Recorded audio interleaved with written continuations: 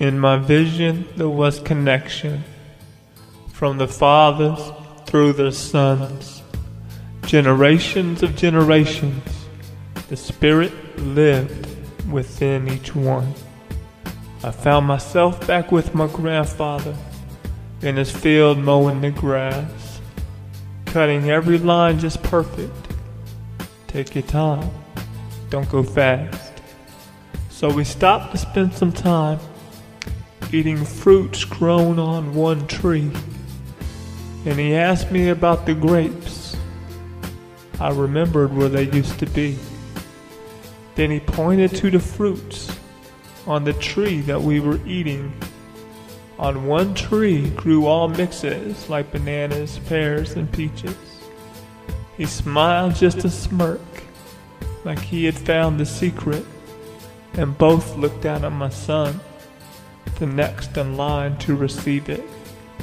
Through his eyes, I seen a structure on foundation freshly made. He was living life all over through the passage of a name. My grandfather stood to his feet, still getting used to his new life. I said, I know because I'm still weak. We had both been paralyzed. As my hand reached out to catch him, I glared deep into pink eyes.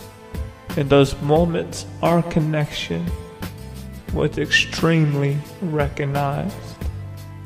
We gazed for several moments, like he wanted me to see the secret to all life. My great grandfather never showed me.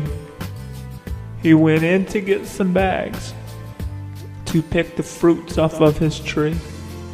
I was told to make some wine with what he gave to me. As he walked into that old house, something new then caught my eye. They were building him a mansion and much closer than the sky.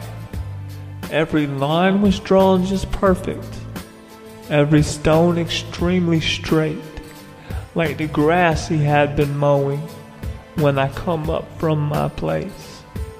As he came out with the bags and he placed them in my hand, I woke up from my dream with pen and paper in my hand. I quickly started writing everything I was told and seen.